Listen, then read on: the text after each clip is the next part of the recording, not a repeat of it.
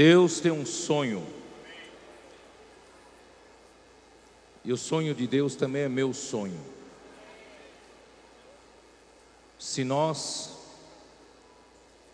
tivermos o mesmo sonho de Deus, nós teremos uma meta para chegar.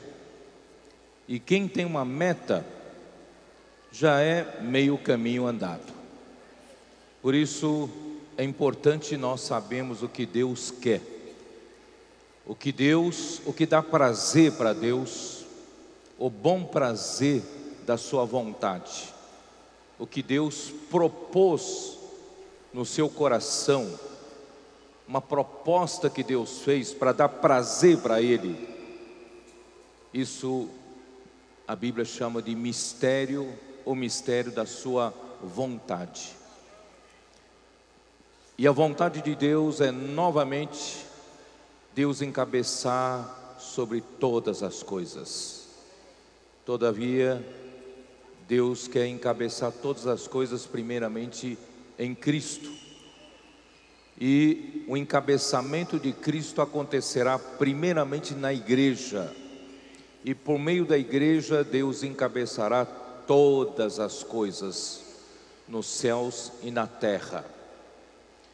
E o encabeçamento de Deus na igreja produzirá uma, uma vida da igreja perfeita.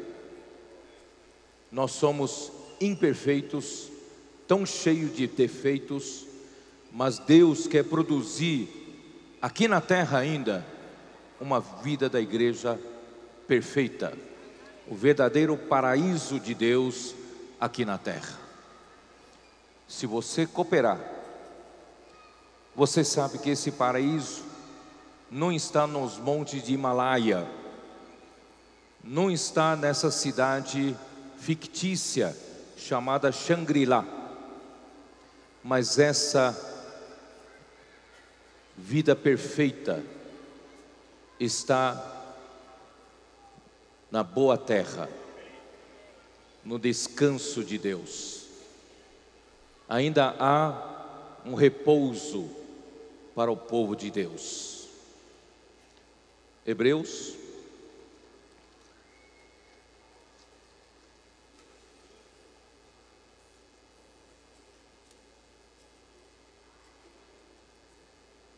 capítulo 4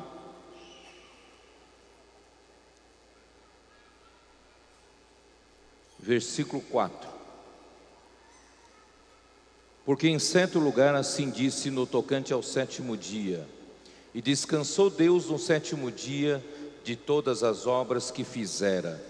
E novamente no mesmo lugar, não entrarão no meio descanso, visto, portanto, que resta entrarem alguns nele, e que por causa da desobediência não entraram aqueles aos quais anteriormente foram anunciadas as boas novas.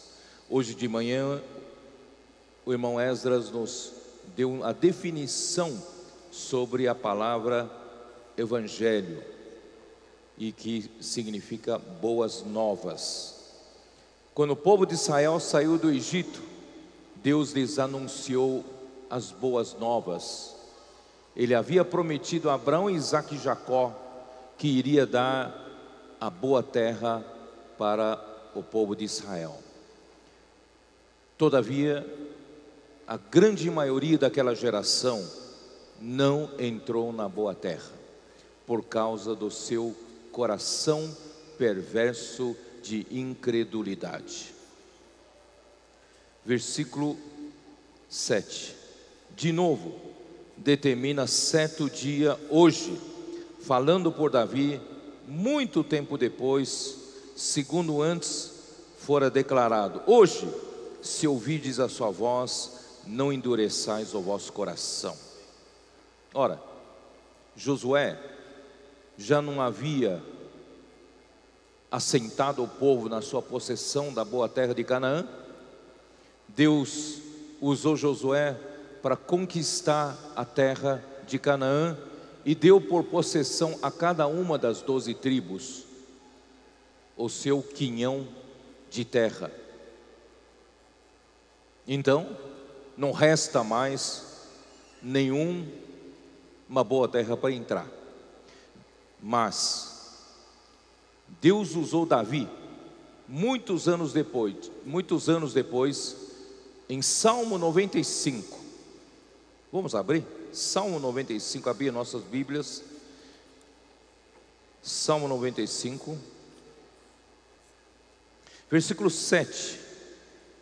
Ele é o nosso Deus e nós, povo do seu pasto, e ovelha de sua mão. Hoje, se ouvides a sua voz, não endureçais o coração, como foi, como em Meribá, como no dia de Massá no deserto. Porque vossos pais me tentaram, pondo-me à prova, não obstante terem visto as minhas obras. Durante 40 anos estive desgostado com esta geração, e disse: povo de coração transviado, não conhece os meus caminhos por isso jurei na minha ira: não entrarão no meu descanso. Ora, se Josué já tinha dado a boa terra por possessão aos filhos de Israel, por que o Espírito usou Davi para profetizar novamente em Salmo 95 que há mais um hoje, hoje, hoje na conferência, aqui na instância, se você ouvir a voz do Senhor, não endureça o seu coração. Você quer entrar na boa terra de Canaã? Essa boa terra não é mais a terra de Israel. Essa terra é espiritual. Essa terra, irmãos, é o nosso paraíso. Que a vida da igreja vai chegar lá. Versículo 8, voltando para Hebreus 4, versículo 8. Ora, se Josué lhes houvesse dado descanso, não falaria posteriormente a respeito de outro dia. Portanto, resta um repouso para o povo de Deus. Eu não ouvi nem amém, nem aleluia, nem glórias a Deus. Nem ouvi Soares dar glórias a Deus, Soares, cadê?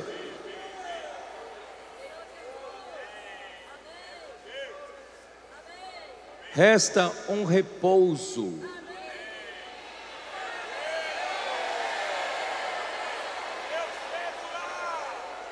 O mundo espera, aguarda um Shangri-La, mas nós temos um repouso de Deus reservado para nós. Essa é a vida da igreja perfeita que Deus projetou e sonhou ter. Portanto, irmãos, quem vai entrar nesse repouso?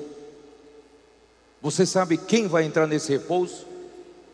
Toda aquela primeira geração caiu no deserto, não pôde entrar na terra boa de Canaã, por quê? Porque eles viviam no velho homem, murmuravam, reclamavam, rebelaram contra Moisés e Arão. Eles só queriam saber do seu benefício próprio para o seu velho homem. Por isso eles não entraram no repouso de Deus. Todos caíram no deserto. O velho homem tinha que cair no deserto. Mas Caleb e Josué entraram na boa terra. Eu espero que esteja falando numa conferência de Calebes e Josués. Há um repouso. Não é o Shangri-La do mundo. É o descanso de Deus. É a terra do descanso que Deus prometeu a nós. Portanto, irmãos, hoje vamos amadurecer. Vamos despojar o nosso velho homem para entrarmos no descanso de Deus hoje. Versículo 10. Eu amo demais esse versículo. Só vão entender os mais experimentados. Não sei se você vai conseguir entender. Porque aquele que entrou no descanso de Deus, também ele mesmo descansou de suas obras, como Deus das suas. Eu vou deixar um pouquinho de tempo para você refletir, para ver se você entendeu. Quem já tem essa experiência, na verdade, já entrou no descanso de Deus. E Deus precisa de muitos homens na igreja que cresceram, amadureceram, experimentaram o descanso de Deus. E quando eu e você, irmãos, vivemos no descanso de Deus, não tem mais nosso esforço próprio. Porque enquanto ainda lutamos por nós, vindicamos pelos nossos direitos, reclamamos dos irmãos, queremos o melhor tratamento, queremos isso, aquilo, reclamando, fazendo greve, irmãos, nós não eh, sabemos o que é descanso de Deus. Mas o dia, irmãos, que nós aprendemos a entrar no descanso de Deus, Deus faz a sua obra no descanso. Aí eu descanso das minhas próprias obras, porque eu não preciso me esforçar, fazer muito, e Deus fará. E Deus também descansa de suas obras, porque enquanto eu não descanso, eu me esforço em fazer as coisas para Deus, Deus vai não consegue descansar. Por quê? Porque Deus tem um monte de meninos travessos fazendo bagunça na sua casa e depois ele tem que arrumar bagunça. Mas se todos nós entrarmos no descanso de Deus, descansamos das nossas obras e Deus descansa das suas obras. Espero que você tenha entendido. Ó Senhor Jesus, esforcemos-nos, pois, por entrar naquele descanso, a fim de que ninguém caia segundo o mesmo exemplo de desobediência. Mas qual é o segredo? Quem vai nos levar para o descanso de Deus? Versículo 12: Porque a palavra de Deus é viva e eficaz, e mais cortante do que qualquer espada de dois gumes, e penetra ao ponto de dividir alma e espírito, juntas e medulas, e apta para discernir os pensamentos e propósitos do coração. Irmãos, a palavra de Deus que sai do trono de Deus, que sai das duas oliveiras, que sai dos raminhos e chegam aos bicos de ouro, que vertem o azeite dourado, e chega até o vaso, distribui as sete lâmpadas do candelabro, irmãos, essa palavra de Deus é viva e eficaz. Ela trabalha. Ela trabalha, sabe em que sentido? Puxa, ganhei mais conhecimento da Bíblia. Eu já virei doutor de doutrina na igreja. Não, não é isso. Ela é preciosa, ela é viva e eficaz, porque ela é a única que é capaz de dividir, separar a alma do espírito. O homem, o velho, quem vive no velho homem, não consegue discernir que é sua alma, que é seu espírito. Por isso essa bagunça fica instalada no meio dos filhos de Deus. E nós não vamos, não vamos sair do deserto enquanto não separar o que é alma, o que é espírito, o que é do velho homem, o que é do novo homem. Mas graças a Deus, irmão, nós temos a palavra de Deus. Essa conferência tem por item principal a palavra de Deus, porque a palavra de Deus é viva e eficaz. Ela sim é capaz de dividir a alma do espírito, de juntas e medulas. Ela é apta para discernir até os nossos pensamentos e propósitos do coração. Não saiu da nossa boca ainda, essa palavra já sabe. Não executamos ainda o que propomos no coração, mas essa palavra já discerne. Portanto, irmãos, graças a Deus pela palavra. Valorizem a palavra, amem a palavra. Nesses seis meses, viva, durma, medite, sabe, ande nessa palavra. Voltar um pouquinho para Filipenses, voltar para a vida real. Senhor Jesus em Filipenses, Eles eram uma igreja maravilhosa. Paulo gerou totalmente no espírito. Paulo chegou em Filipos sem saber exatamente o que fazer. E o espírito o guiou para gerar aquela igreja. À beira do rio, a Lídia e a sua família foi salva. E no cárcere, o carcereiro foi salvo e foi batizado, ele e toda a família. Irmãos, assim uma igreja tão próxima de Paulo foi gerada. É uma igreja muito próxima de Paulo, muito íntima de Paulo. Era uma única, uma das únicas igrejas que se preocupavam com o sustento de Paulo na sua, nas suas andanças, nas suas jornadas pelo Evangelho. As outras igrejas não se preocuparam com isso, mas a igreja de Filipos se preocupou com isso. Mandou por várias vezes o necessário para Paulo poder pregar a palavra sem se preocupar com o seu sustento. É uma palavra, é uma igreja muito querida de Paulo. Todavia, Paulo escreveu essa carta para mostrar, embora seja uma igreja muito normal, muito boa, todavia, essa igreja tinha problemas. Que tipo de problemas? Quem sabe? Está logo no capítulo 4, versículo 2, Paulo fala assim: Rogo a Evódia e rogo a Sintique Pensem concordemente no Senhor. Essas duas irmãs são, eram duas irmãs cooperadoras preciosas de Paulo. As duas provavelmente foram muito úteis na cooperação do Evangelho no ministério de Paulo. Todavia, entre elas tem problema. Elas não pensam concordemente não pensam a mesma coisa e que talvez tivessem certa disputa entre elas. Irmãos, esse é o problema da igreja de Filipos, que é também o nosso problema. Por isso, irmão Paulo, pela primeira vez aqui na, na, apresentou a questão que eu comecei ontem, já no capítulo 1, versículo 8, na carta aos, aos Filipenses. Capítulo 1, versículo 8 diz assim: pois minha testemunha é Deus, da saudade que tenho de todos vós na terna misericórdia de Cristo Jesus.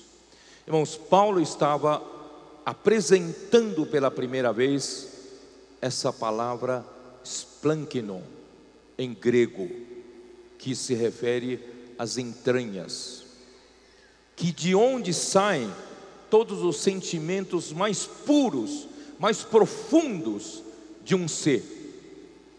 Quando Jesus, em Mateus, ele visitava, pregava o Evangelho nas cidades e nas, nas vilas, ele olhou para a multidão e viu que todos eram ovelhas sem pastor.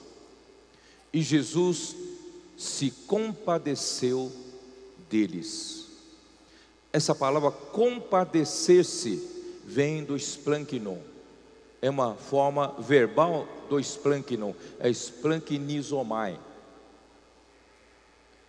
Compadecer-se, irmãos, é uma característica de Deus para com o homem. Porque o homem, irmãos, não merece perdão.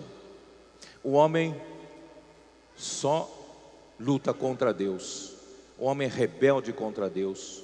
O homem, na primeira desobediência, largou Deus, abandonou Deus e foi se juntar ao império das trevas. Irmãos, o homem, todos pecaram e carecem da glória de Deus.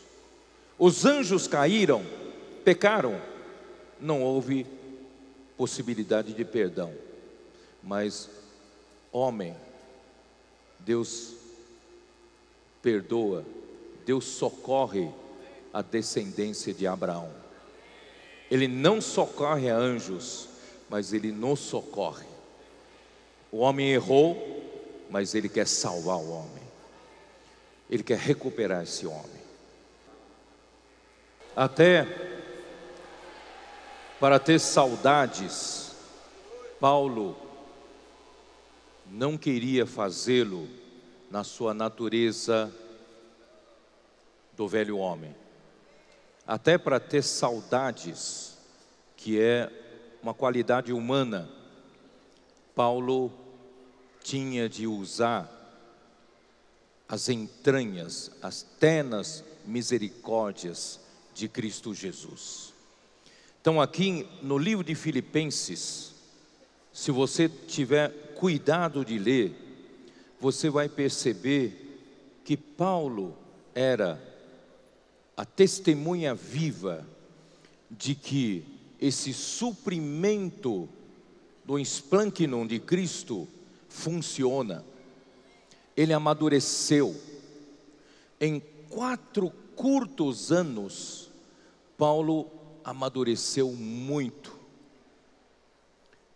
Quando ele disse para os filipenses que o seu foco estava no progresso do Evangelho.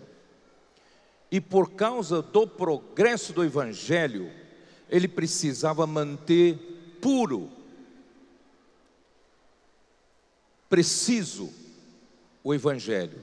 Portanto, havia necessidade de fazer a defesa e confirmação do Evangelho. O Evangelho de Deus, irmãos, como disse de manhã, Esdra, o Esdra é uma pessoa viva, é Jesus Cristo. O Evangelho não é uma série de doutrinas, ensinamentos sobre Cristo, mas o Evangelho é a própria pessoa viva de Cristo. Essa é a boa nova de Deus para nós.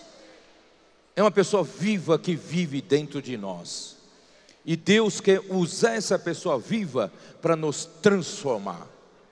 Porque, irmãos, enquanto vivemos no Antigo Testamento, no tempo do deserto, o, o, a primeira geração, Deus não tem esperança. Deus precisa nos transformar. Deus precisa nos fazer da geração nova que aprenda a viver pelo novo homem. Até Paulo, quando ele, ao fazer a sua defesa do Evangelho, com relação aos judaizantes que pregavam que não era somente, não era suficiente apenas crer em Jesus, mas que eles também tinham de observar a lei de Moisés. Eles tinham de passar pelo processo da circuncisão e guardar a lei de Moisés.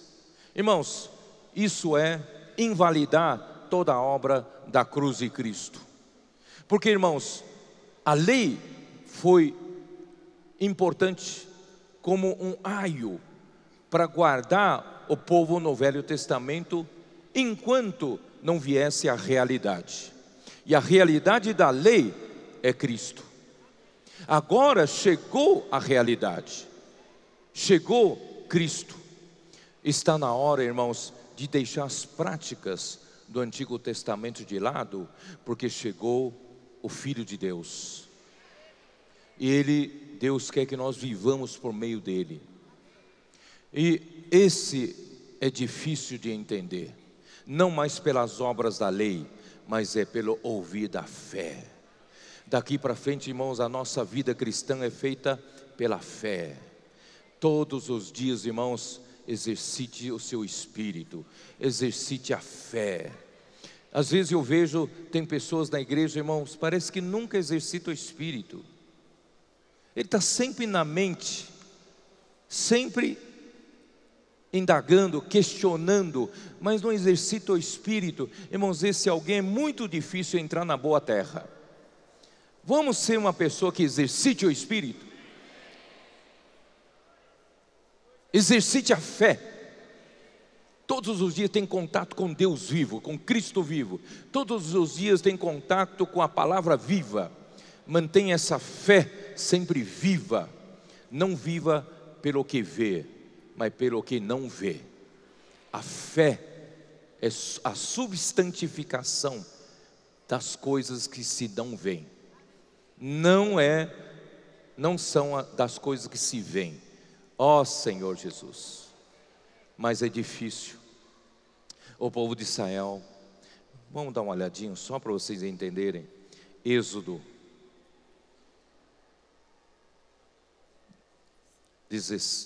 Êxodo 15 ainda.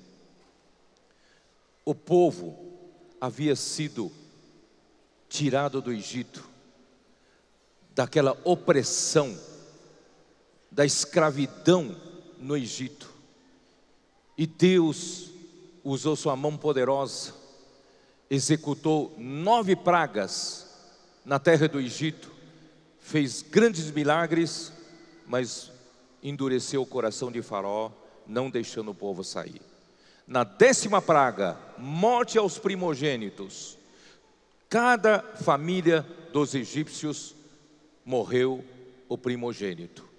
Mas nenhuma, em nenhuma família do povo de Israel morreu o primogênito, porque o cordeiro que Deus pediu para eles imolar na noite anterior derramou seu sangue, morreu em nosso lugar. Isso é o que o Ezra explicou de manhã, foi uma morte vicária, uma morte substituta. Aquele cordeiro substituiu a morte do primogênito daquela família. Irmãos, Cristo é o cordeiro pascal. Deus imolou Cristo como cordeiro em nosso lugar. E naquela noite nenhum do povo de Israel morreu. E o faraó não teve outro jeito de teve de deixar o povo sair. E o povo saía todo contente, só que irmão, sabe quantos eles eram? No censo indicava que eles tinham 600 mil homens capazes de sair para a guerra. Agora, se você somar as mulheres, velhos e crianças, eles eram no mínimo 2 milhões. Esse povo tinha 2 milhões quando saíram quando saiu do Egito. Irmãos, é fácil fazer uma viagem com dois milhões? Você veio para a estância numa família de quantas pessoas? Três pessoas, quatro pessoas, cinco pessoas? Irmãos, é uma dificuldade, tem que fazer, traçar bem a estratégia. Na estrada tem que parar em alguns lugares, não é isso? ou no aeroporto, é? Você tem que planejar bem a sua viagem. Mas ali não tinha estrada aqui no, no estado de São Paulo nós temos graal, nós temos frango assado, nós temos bons postos, né, para descanso no meio do caminho, na estrada, mas no deserto não tinha nada disso. Só mesmo Deus para cuidar daquele povo, dois milhões de pessoas. Quando o povo já entrava, chegando perto do Mar Vermelho, percebeu que o exército de Faraó os, o perseguia. Porque o faraó queria esse povo de volta, era mão de obra boa, barata. Queria que esse povo de volta para servir o Egito. E o povo clamou a Deus. Moisés estendeu a vara, o mar se abriu e o povo atravessou o leito a, a, pé enxuto. E saiu do outro lado, e quando o exército de Faraó entrou no Mar Vermelho, as águas do mar se fecharam. Ali morreram todo o exército do Egito. Isso indica o nosso batismo. Irmão, não só nós somos o povo de Deus, nós confessamos nossos pecados, invocamos o nome do Senhor, confessamos Jesus como nosso Salvador, mas há necessidade de nós fazermos o batismo, para de fato nos desligarmos do mundo se você ainda não foi batizado, faça logo o seu batismo. Faraó, depois do batismo, o faraó não tem como mais te, te pegar, né? O batismo pelas águas. E quando o povo do outro lado começou a louvar, e Miriam fez um cântico louvando por tudo que Deus fez. Mas não durou muito tempo. Depois de terem visto o poder de Deus, milagre acontecendo, Irmãos, logo em seguida, capítulo 15 de Êxodo, versículo 22. Fez Moisés partir a Israel do Mar Vermelho e saíram para o deserto de Sur. Caminharam três dias no deserto e não acharam água. Já pensou, irmão, sem água? As mulheres, primeiramente, reclamam: como é que eu vou alimentar, dar de beber para os filhos, para meninos, para. Todo mundo está morrendo de sede. Aí você sabe que a mulher reclama no ouvido do marido e o marido vai ter que reclamar no ouvido de alguém. E foram buzinar no ouvido de Moisés e Arão.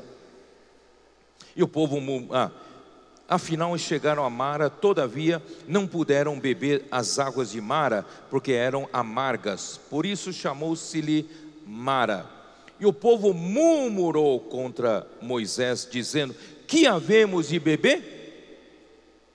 O povo que viu a mão poderosa de Deus tirando o povo do Egito com dez pragas, e o povo viu a mão poderosa de Deus abrindo o mar vermelho, ele não é capaz de sustentar esse povo, dar água para ele, para ele não. Mas irmãos, o velho homem só sabe murmurar. É um espelho para você ou não? A gente só reclama, não é? A filha que não anda, a gente reclama. Está quente demais, a gente reclama. Está frio demais, a gente reclama. Faltou água na casa, esses dias faltou água na minha casa, a gente reclama. Nós reclamamos com tudo. Quando você está no ponto de ônibus, esperando o ônibus, esse ônibus demora mais do que normal, você não reclama? Reclama. E ônibus que pega você e quebra no caminho, reclama. Irmãos, nós reclamamos de tudo, não é assim? Esse é o velho homem. Então Moisés clamou ao Senhor, o Senhor lhe mostrou uma árvore, lançou a Moisés nas águas e as águas se tornaram doces. Deu-lhe deu-lhes ali estatuto de uma ordenação e ali os provou e disse: Se ouvires atento a voz do Senhor teu Deus e fizeres o que é reto diante dos seus olhos e deres ouvido aos seus mandamentos e guarda, guardares todos os seus estatutos, nenhuma enfermidade virá sobre ti das que enviei sobre os egípcios, pois eu sou o Senhor que te sara.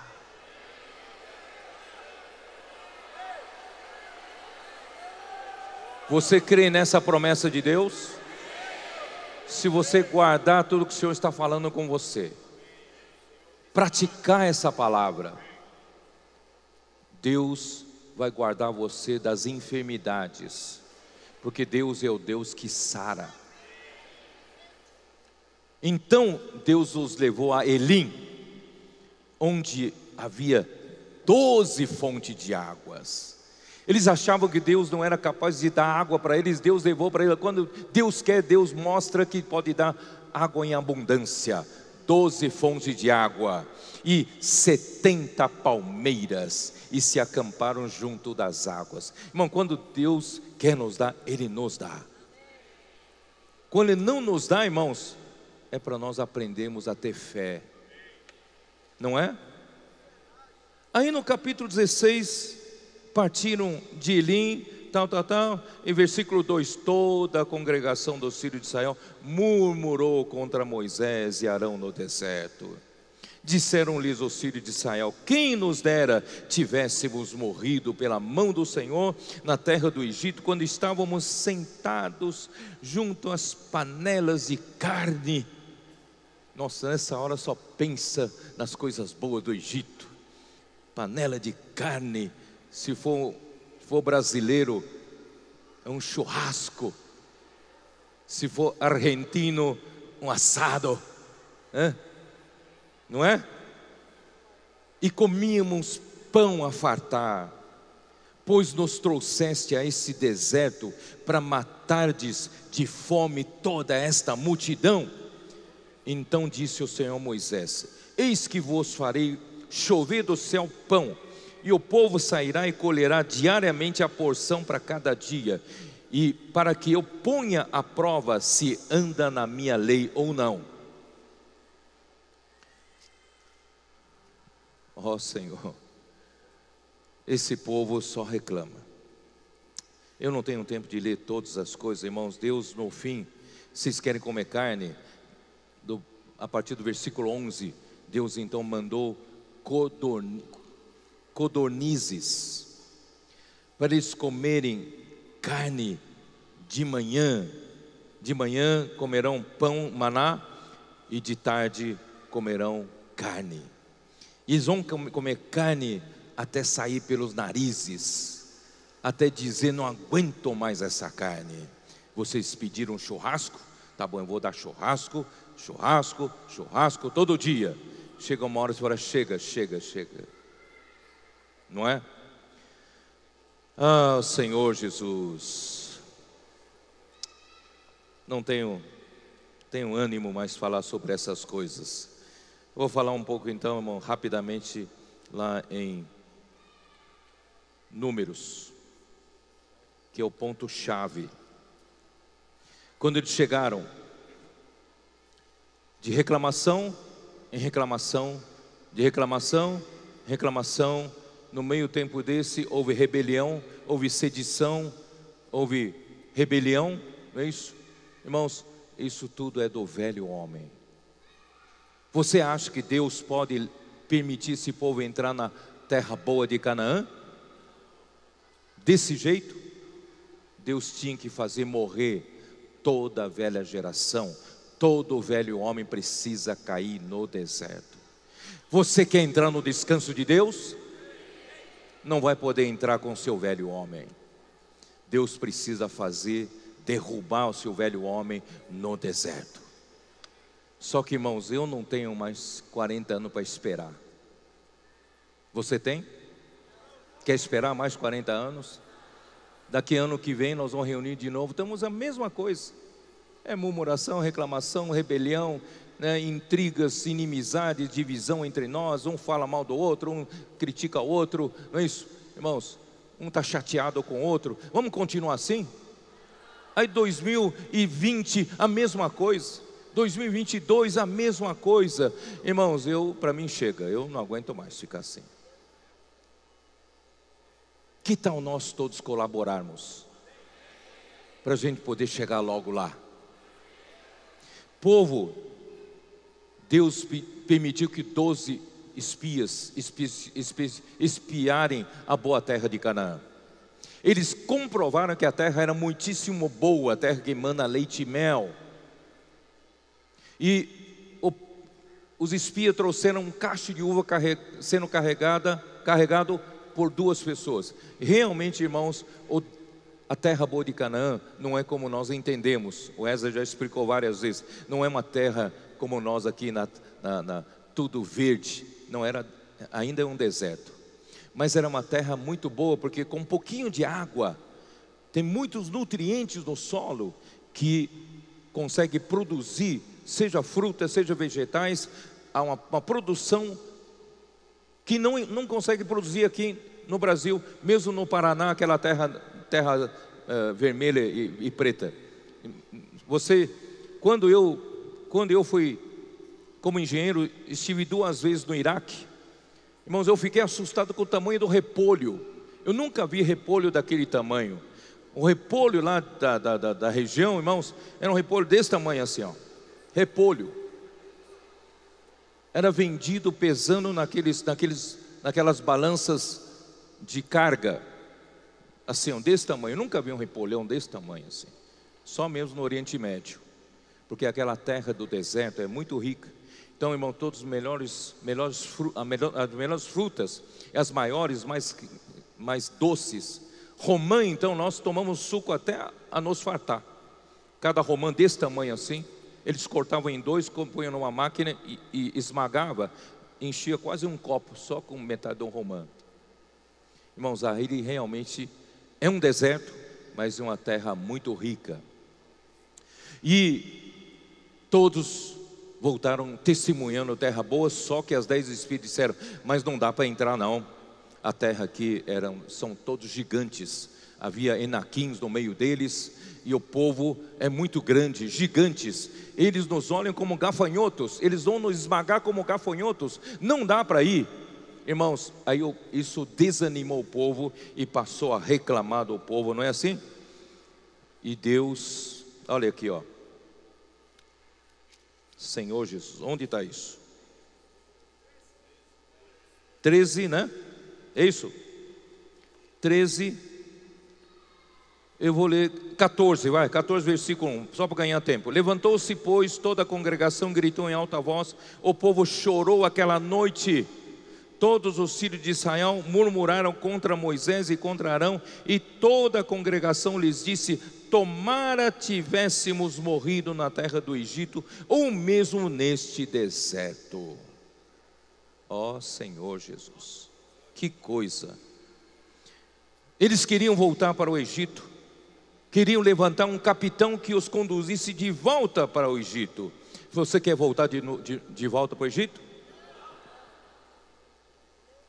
E Josué, filho de Num, versículo 6, e Caleb, filho de Jefoné, dentre os que espiaram a terra, rasgaram suas vestes e falaram a toda a congregação dos filhos de Israel, dizendo: A terra pelo meio da qual passamos a espiar é terra muitíssimo boa. Se o Senhor se agradar de nós, então nos fará entrar nessa terra e nos lá dará a terra que manda leite e mel. É o nosso Shangri-La espiritual. Tão somente não sejais rebeldes contra o Senhor, e não temais o povo dessa terra, porquanto como pão os podemos devorar. Retirou-se deles o seu amparo, o Senhor é conosco, e não os temais. Apesar disso, toda a congregação disse que os apedrejassem. Porém, a glória do Senhor apareceu na tenda da congregação a todos os filhos de Israel. Disse o Senhor Moisés: Até quando me provocará este povo? Até quando não crerá em mim? A despeito de todos os sinais que eu fiz no meio deles, com pestilência o ferirei e o deserdarei, e farei de ti povo maior e mais forte do que ele. Irmãos, essa é uma pequena amostra que eu estou mostrando para vocês porque esse povo teve que ficar 40 anos dando volta no deserto? Porque Deus fez de cada um dos 40 dias que os espias percorreram a terra, um ano para eles vagarem no deserto. 40 dias, 40 anos. Porque o velho homem deles era forte demais. Irmãos, como está nosso velho homem? Quantos anos nós vamos ficar no deserto. Hebreus. Hebreus.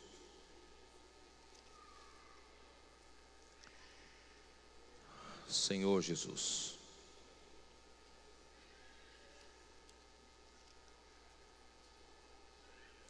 Através do irmão Dong, Deus nos deu a visão do reino.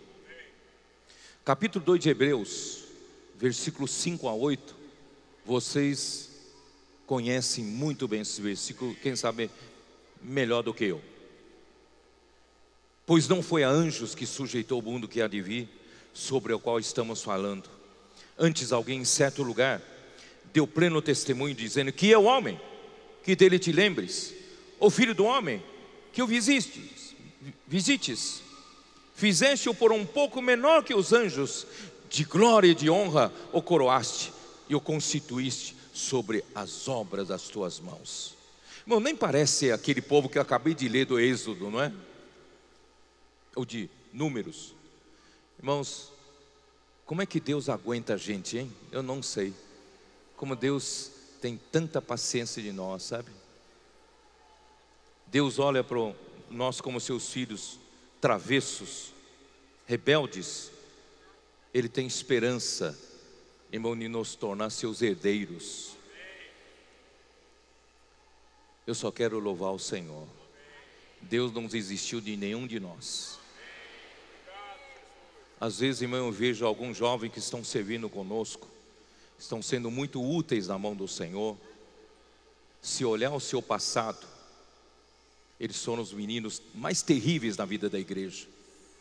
Foram os meninos mais levados, só deram problema para os pais e para, para os irmãos. Mas, irmão, o Senhor teve paciência, misericórdia. E hoje esses jovens são muito úteis servindo ao Senhor. E você e eu, hein? Como é que a gente era?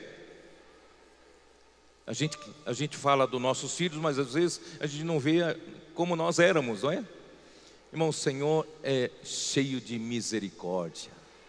Por isso, irmãos, nas ternas misericórdias, nas entranhas de Cristo, primeiramente é cheio de misericórdia.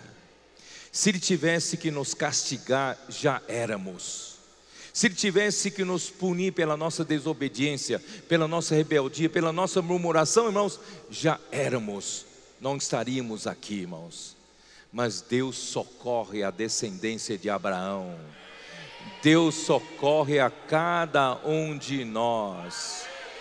Quando hoje, segundo o seu beneplácito, o seu bom prazer, a proposta que ele fez para o homem, hoje, irmãos, ele olhando para nós, segundo a proposta que ele fez no, na sua vontade, ele olha para nós, ele, tá, ele coroou, ele quer coroar o homem de glória e de honra e quer sujeitar todas as coisas debaixo dos pés do homem. Irmão, nós estamos a quilômetros e quilômetros de distância disso. Mas, irmãos, Deus não desiste de nós. Eu vou voltar a ler para vocês. Se fizeste um por, se fizeste um por um pouco menor que os anjos, de glória e de honra o coroaste, e o constituíste sobre as obras das tuas mãos, e todas as coisas sujeitasse debaixo dos seus pés. Isso é o que eu falei ontem. O mistério da vontade de Deus é que todas as coisas sejam sujeitas debaixo dos pés da igreja, para que um dia Cristo pudesse ser tudo em todos, por meio da igreja.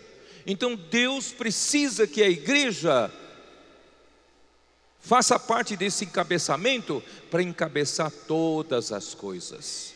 Irmãos, Deus já olha a obra pronta. Versículo, continuação do versículo 8. Ora, desde que lhe sujeitou todas as coisas, nada deixou fora do seu domínio. Agora, porém, agora, porém, tem um porém aqui. Agora, porém, ainda não vemos todas as coisas a ele sujeitas. Nem cachorro da sua casa sujeita a você sua mulher, seus filhos, marido, não, irmãos. Ó Senhor, porque nós não temos ainda a realeza formada em nós. Mas irmãos, Deus não desiste de trabalhar em nós. Qual é a solução de Deus, irmãos? Nós estamos tão distante do que Deus projetou para nós, mas qual é a solução de Deus? Está no versículo seguinte. Qual é a solução de Deus? Vemos, todavia, aquele que por, por um pouco, tendo sido feito menor que os anjos, Jesus, amém? Deus não ia conseguir fazer isso com o homem, mas Deus mandou seu filho, Jesus, para ser um homem, para que pudesse trazer a salvação para o homem. Então, Jesus, por causa do sofrimento da morte, foi coroado de glória e de honra, para que pela graça de Deus provasse a morte por todo homem.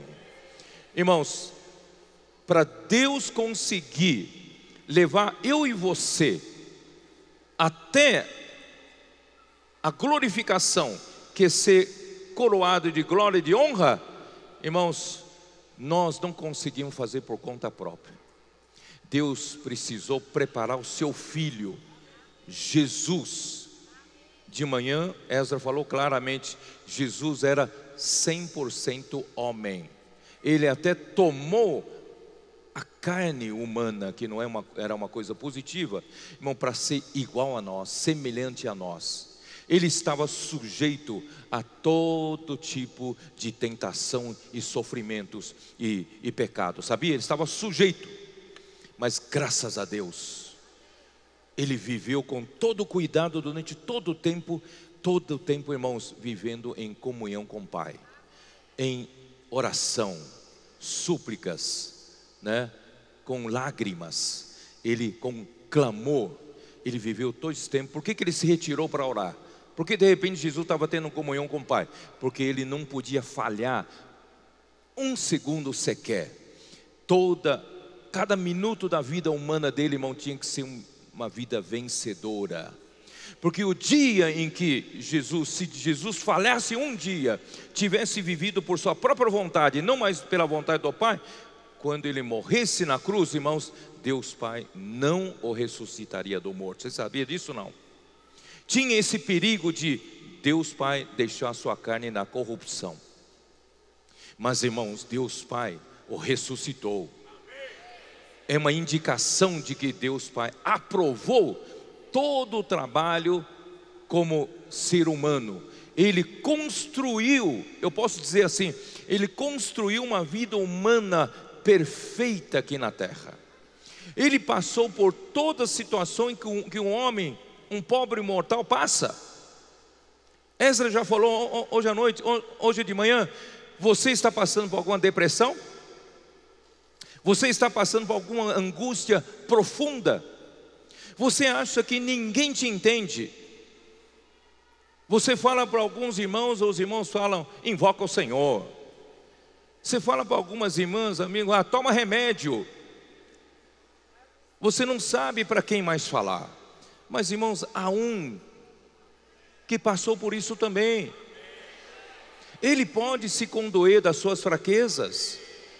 Ele pode se compadecer de tudo que você passa porque ele passou por todo, tudo que um ser humano é, pode passar, mas sem pecado. E ele venceu. Deus Pai o aprovou, ressuscitando dentre os mortos. E no dia que ele foi ressuscitado, foi falado de manhã, Deus Pai disse: Tu és o meu filho, e eu hoje te gerei. Isso está em Atos 13, 33. Eu, tu és o meu filho, eu hoje te gerei. Esse hoje é na ressurreição. Jesus Cristo foi gerado, Jesus Cristo, homem, foi gerado como filho de Deus na ressurreição. Esse filho é o filho primogênito, porque o filho unigênito, como Deus ele já era. Irmãos, por que filho primogênito? Porque ele é o primeiro entre os muitos homens que virão a crer em Jesus. E hoje, irmão, nós somos esses muitos irmãos que Deus preparou Jesus como nosso autor da salvação. Jesus vai nos salvar da nossa conduta do velho homem, das nossas murmurações, das nossas brigas entre os irmãos, intrigas, maledicência, inimizades, né? porfias, falta de perdão, condenação, crítica, conflitos que não levam a lugar nenhum, irmãos. Toda vez que a gente insistir viver nisso, nós só atrasamos o mover de Deus. Quando a Miriam rebelou-se contra Moisés, achou-se com lepra. Arão rogou logo a Moisés e se arrependeu, não teve lepra. A Miriam teve que ficar sete dias fora do arraial e o povo não pôde levantar acampamento por sete dias, esperando a cura de Miriam.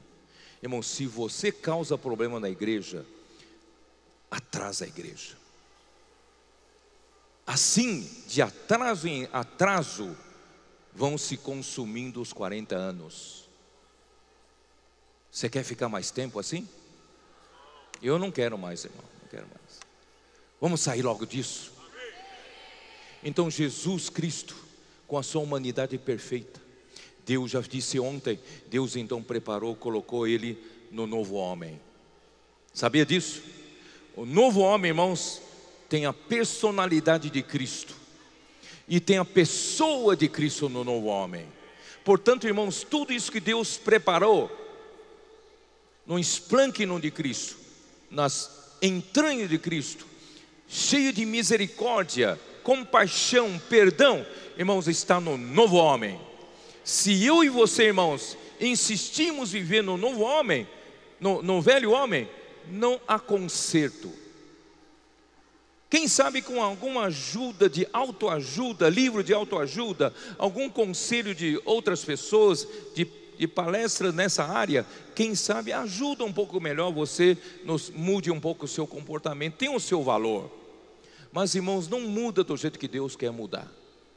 Deus quer que você deixe, faça morrer essa natureza terrena. Vocês se lembram que eu li ontem em Colossenses capítulo 3? Qual, qual, quais, são, quais são os itens da natureza terrena? Quem se lembra? Prostituição, impureza, desejo lascivo, como é que é? A lascívia, desejo maligno, maldade, avareza, que é a idolatria. E depois vem a ira, indignação. Quem mais? Hã? Acho que é mais fácil ler aqui, né? Colossenses 3, versículo 8. Agora, porém, despojai-vos igualmente de tudo isto: ira, indignação, maldade, maledicência. Quem levanta a mão fala: Eu não tenho problema com maledicência. Nunca falei mal de ninguém, ninguém. Juro por Deus, não falei mal de ninguém. Né? Maledicência é coisa do velho homem. Linguagem obscena do vosso falar. Irmão, vamos tirar da nossa boca a linguagem obscena, palavrão, palavras né, inadequadas. Não mintais uns aos outros, uma vez que vos despistes do velho homem com seus feitos e vos revestistes do novo homem,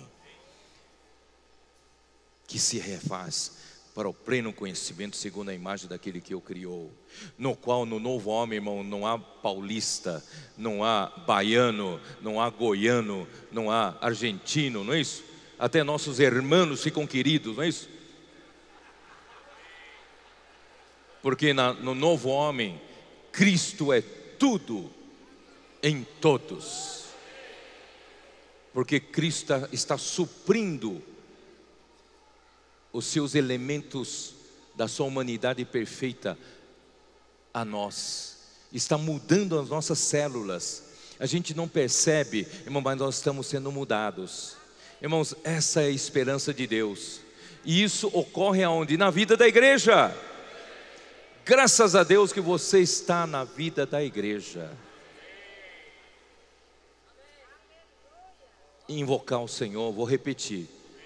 Você vive invocando o nome do Senhor? Você chama Jesus é o seu Senhor? Realmente o faz o seu amo? Ele é o seu dono? Ele é o dono do seu nariz? Não, eu sou dono do meu nariz. Jesus é o Senhor. Eu sou um escravo de Jesus Cristo. O que mais? Você lê a Bíblia? Quem aqui lê a Bíblia? regularmente. Né? Irmão, precisamos aprender a ler a Bíblia. Ler a Bíblia, não apenas ler como letras preta no papel branco, mas ler para receber o falar de Deus. Né? Receber, gravar a palavra de Deus no nosso coração. Quem aqui lê alimento diário todos os dias? Quem aqui rumina essa palavra? Quem procura aplicar essa palavra? Irmãos, quando eu era jovem, no, no, meu tempo, não tinha alimento diário, era uma fita cassete. Eu ficava a semana inteira no meu carro ouvindo aquela semana, aquela mensagem de fita cassete. E toda vez que eu entrava no carro, eu ouvia aquele, aquele, aquela fita cassete e a mensagem. Irmãos, a minha oração era sempre essa: Senhor, me ajude essa semana a praticar essa palavra. Eu não quero apenas ter conhecimento na letra, eu quero aplicar essa palavra na minha vida, porque eu quero crescer. Quero deixar de viver pelo velho homem, quero viver pelo novo homem. Aí você, irmãos, quem aqui cuida do grupo familiar? Quem aqui tem um grupo familiar? e cuida do grupo familiar, do grupo familiar. Irmão, nós precisamos aprender a ser líderes no grupo familiar, ser pai da criança, convidar as pessoas, fazer multiplicar os grupos familiares. Irmãos, tudo isso, pregar evangelho, cuidar das pessoas, não é? Servir na igreja. Quem quer servir na igreja não tem espaço. O Senhor vai abrir espaço para você desde que haja um coração desejoso. Tenha comunhão com os irmãos da sua, da sua região. Tenho certeza, irmãos, que você vai ser empregado assim que voltar. Não vai ficar desempregado, não. Irmãos, se você faz tudo isso, uma vida normal da igreja, se você não fez o SEAP, ainda faz o SEAP. Se você né, não sabe o que é comportagem, também você pode ser útil a pregar evangelho por meio da palavra escrita, dos livros. Você pode trabalhar, ajudar também nos bucafés, bucafé comunidade, bucafé é, é, comercial. Você pode, irmão, ser útil né, em todos esses, esse, esse serviço que tem à nossa frente. Irmãos, eu tenho certeza que você vai crescer. Amém? Então, para finalizar, eu quero te dar duas ajudas. Quando você estiver numa dificuldade de relacionamento,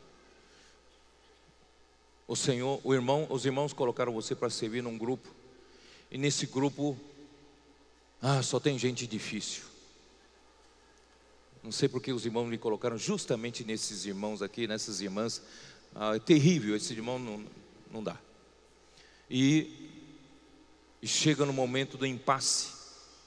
Se você não faz, os, os irmãos vão cobrar. Se você faz, não consegue se entender com os irmãos que estão servindo com você. Nessa hora, há choque de personalidade, choque de, de humanidade. O que, que você vai fazer? Desiste. Não aguento mais. Carta de demissão. Entrega na mesa do presbítero não vou servir mais. Irmãos, vai, apela para o Senhor. Você não tem humanidade suficiente para servir junto com aqueles irmãos, mas Cristo tem essa humanidade. E esse estoque está no novo homem.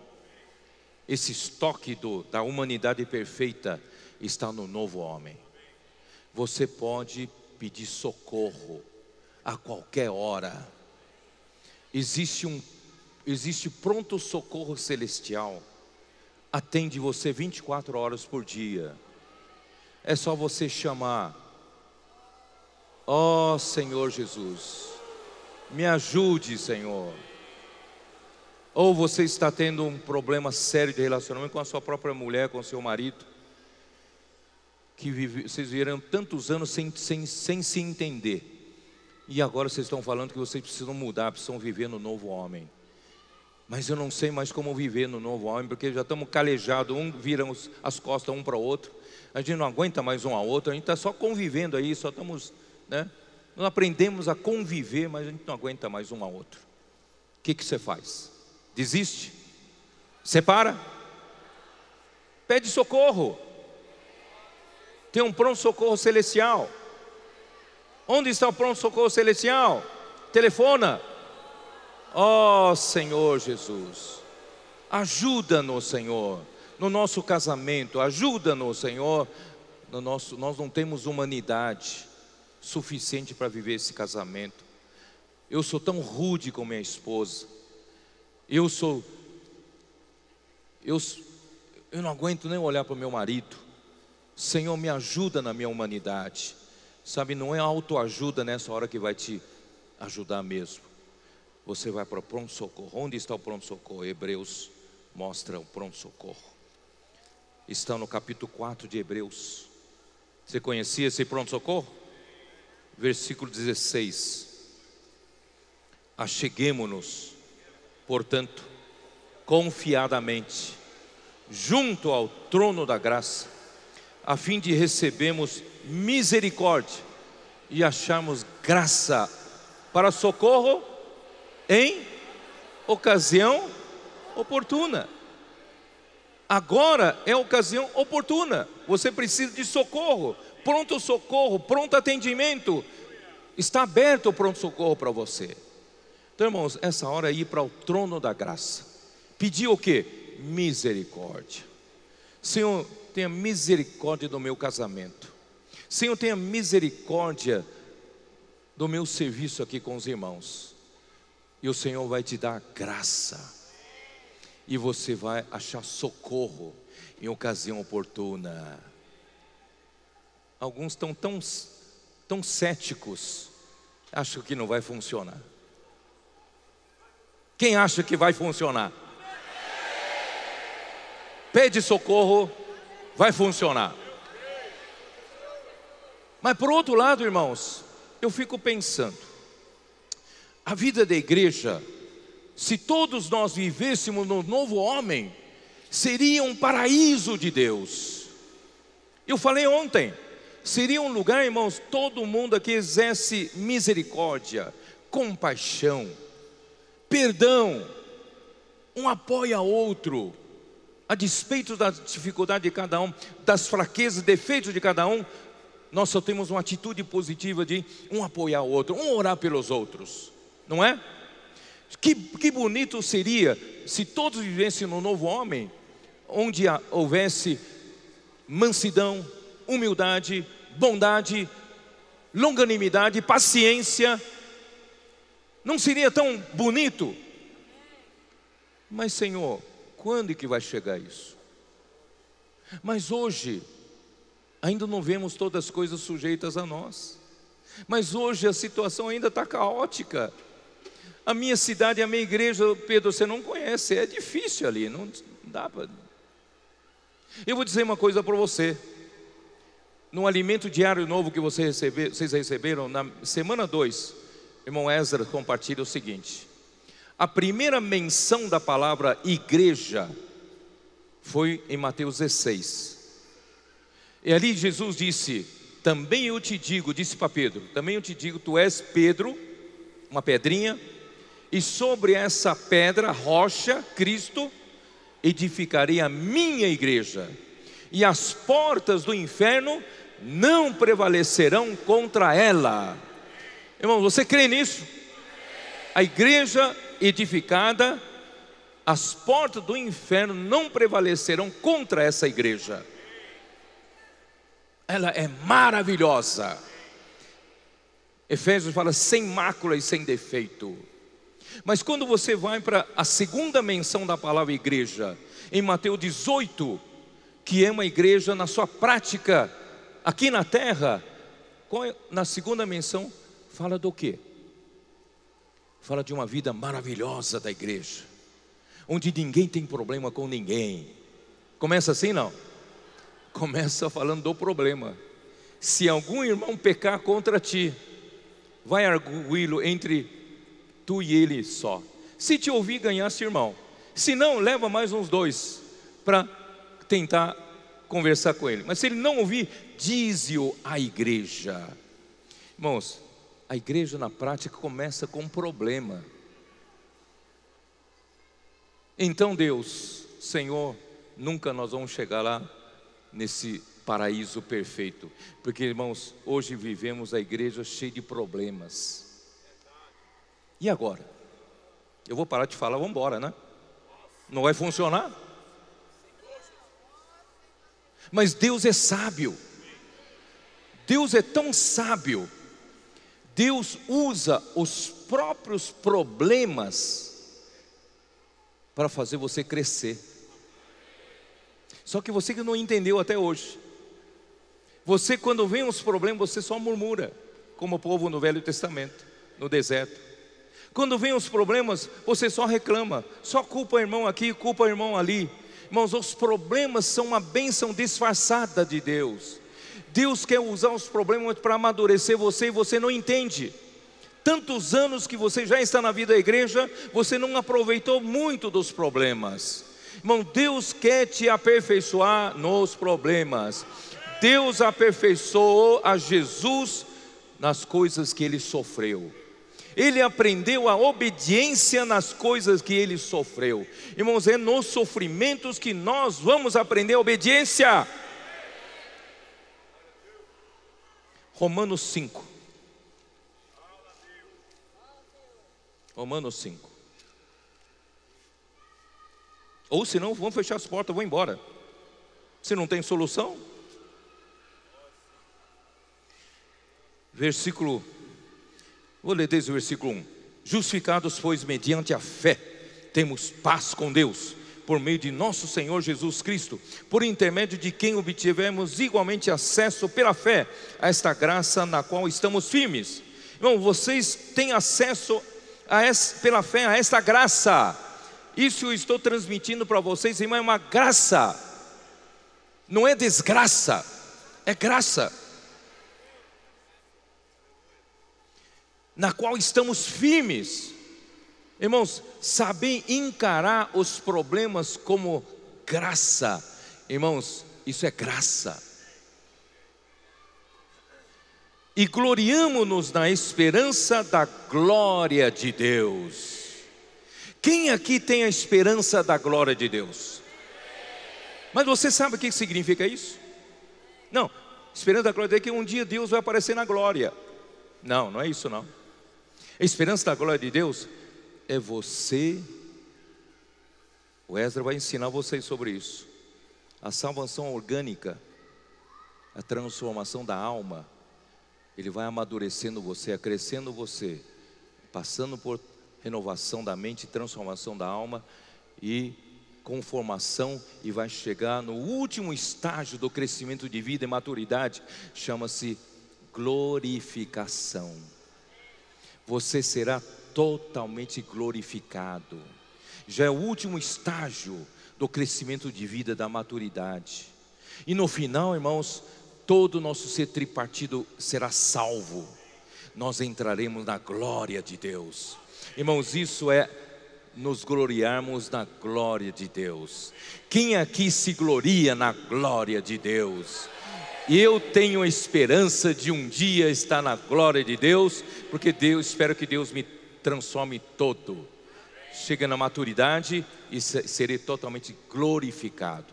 Versículo, você também? Amém? Versículo 3. E não somente isto, mas também nos gloriamos nas próprias Acho que Paulo escreveu errado aqui, né? Nos gloriamos nas próprias vitórias, gloriamos nas próprias vida perfeita da igreja. Não, nos gloriamos nas próprias tribulações. É possível um negócio desse? Porque Deus é muito realista. Deus sabe que hoje ainda não chegamos lá. Ainda estamos vivendo, convivendo Estamos em meio de muitos problemas.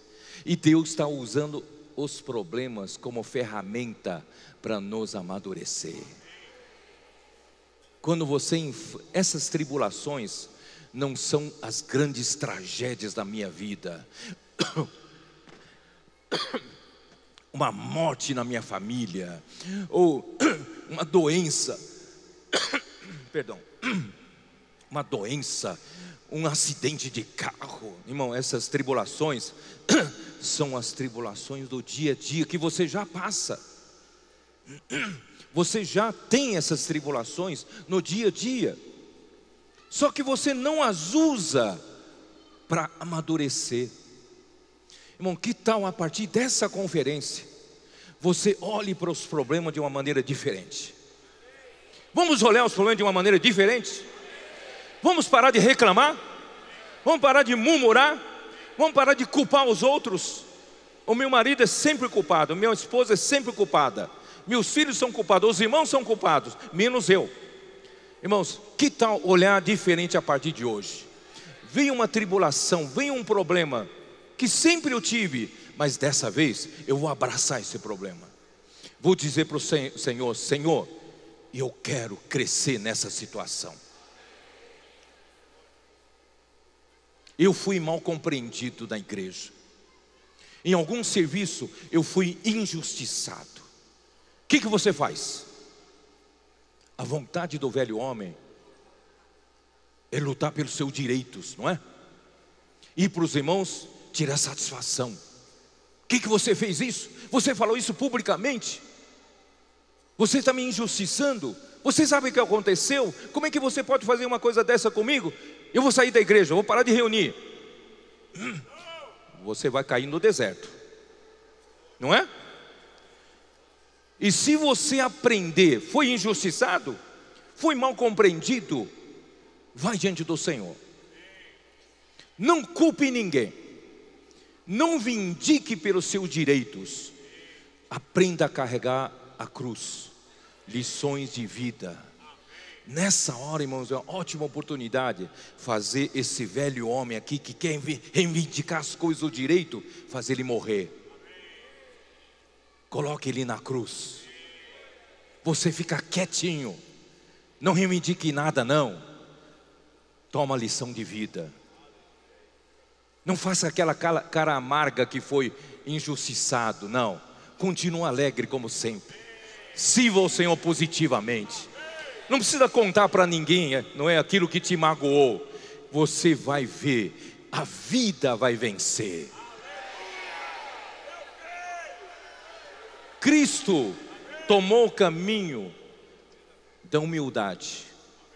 Ele se humilhou e tornou obediente até a morte.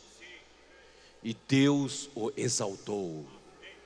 Você não acredita que se você tomar o mesmo caminho, humilhar-se a si mesmo, mesmo que você acha que tem direito, você quer lutar pelo seu direito, para de lutar pelo seu direito. Vai diante do Senhor, carrega a cruz, tome isso como lições de vida, irmão, no tempo certo o Senhor vai te exaltar. Acredita ou não acredita nisso? Mas se você luta pelo seu direito, você ainda está no velho homem. Você quer tornar, explicar para os irmãos que você não fez isso. Não precisa explicar, irmãos. Entrega tudo àquele que, ao reto juiz que julga tudo retamente. E as tribulações, as tribulações produzem perseverança, resiliência vocês vão ver amanhã à noite o livro Resiliência. E a resiliência, a persistência é um dos credenciais de um apóstolo. Irmãos, é através tomar as tribulações para crescer, você ganhará perseverança. Senão, irmão, qualquer coisa te desanima. Qualquer coisa faz você desistir. Irmão, quem desiste vai cair no deserto. Mas quem perseverar vai entrar na boa terra, no repouso de Deus, no descanso de Deus. E vai ter a experiência maravilhosa, irmão, de chegar num estágio em que muitos na igreja já estarão no, no estágio do novo homem. Nós ainda vamos viver essa vida maravilhosa. Você crê nisso, irmãos?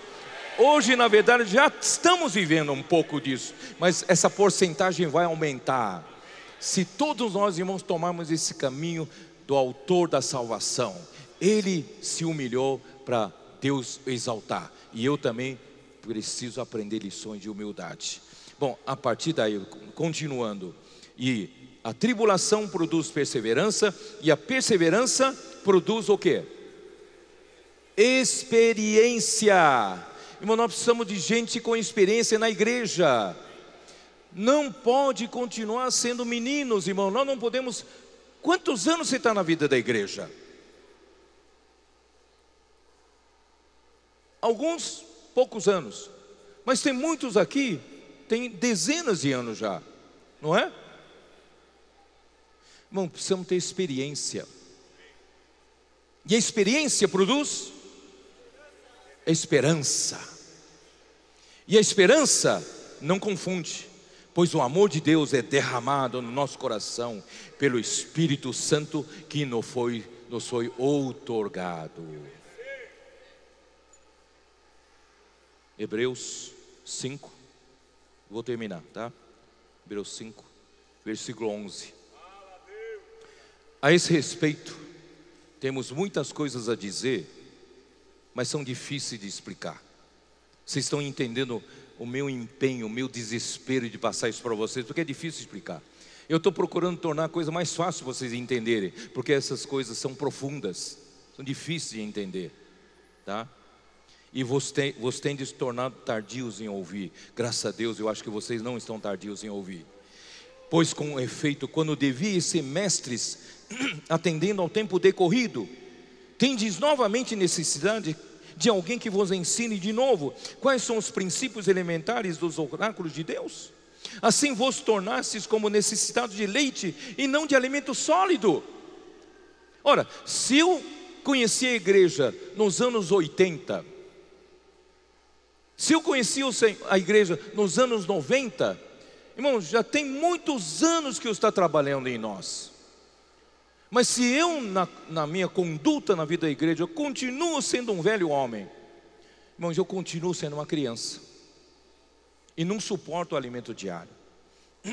Você sabe que, pelo contrário, quem tem currículo de muito tempo se torna mais crítico ainda, se vê, se vê no direito de criticar os outros, porque eles têm mais tempo, sabe das coisas.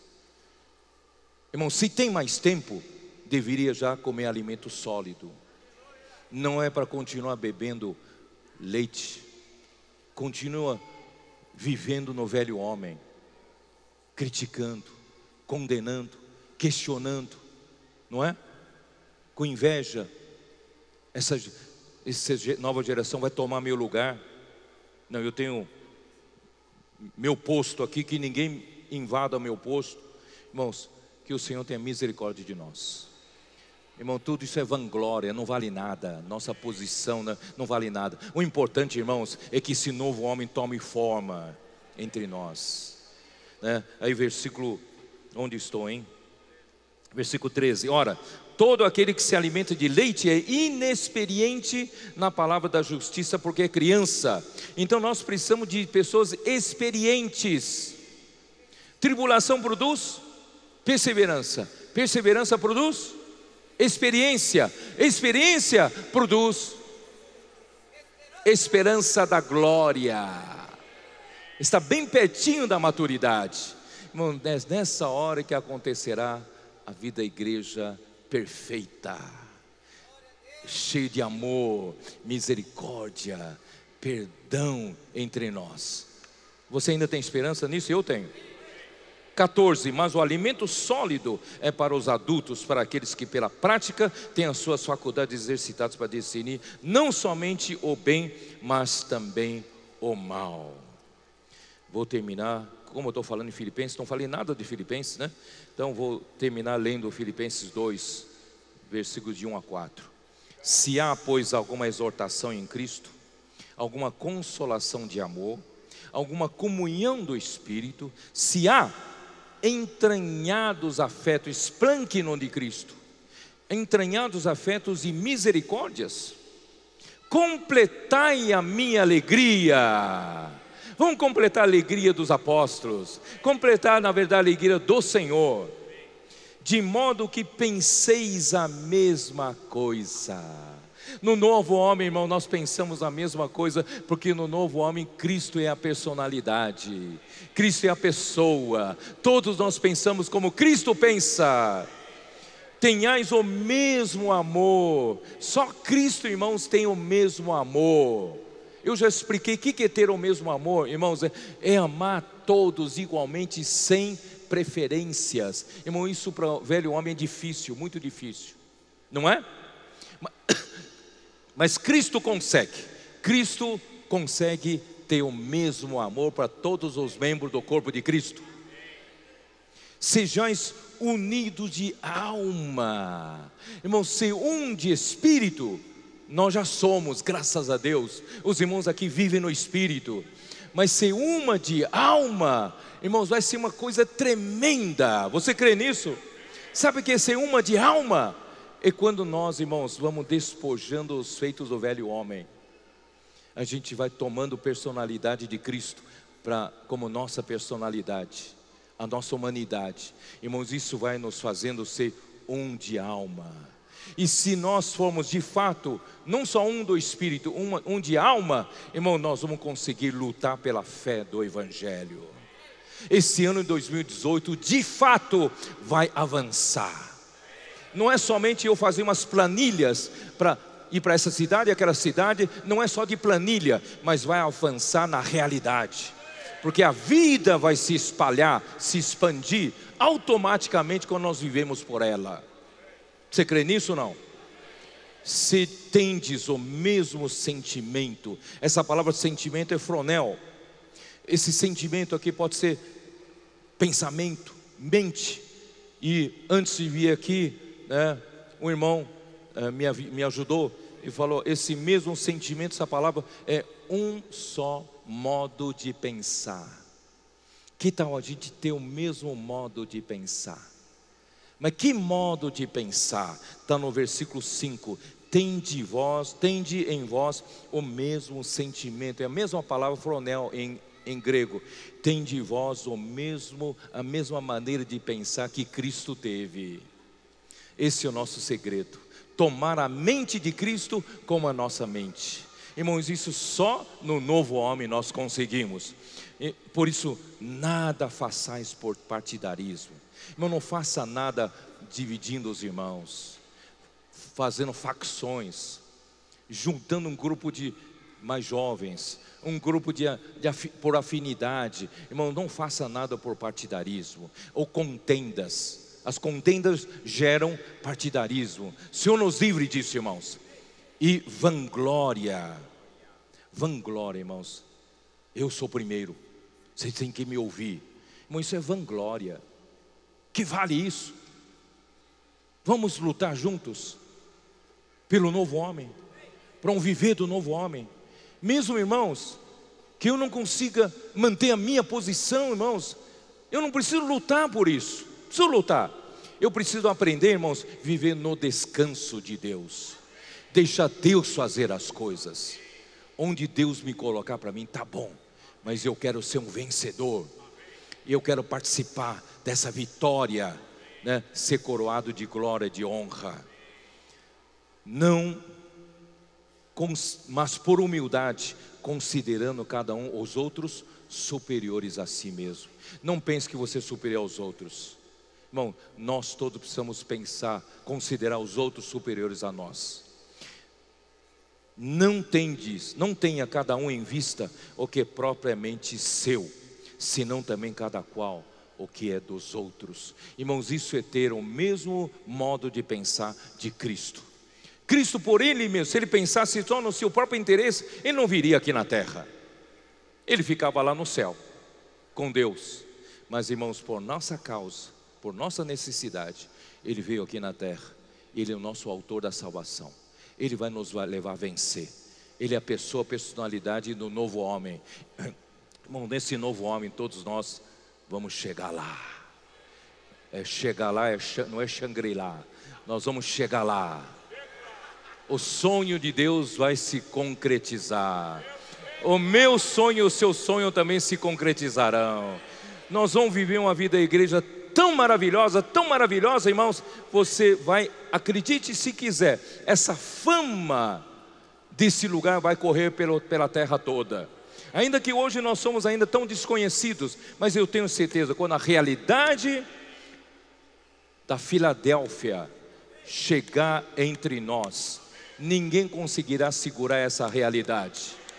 Muitos virão para viver essa verdadeira vida da igreja. Jesus é o Senhor.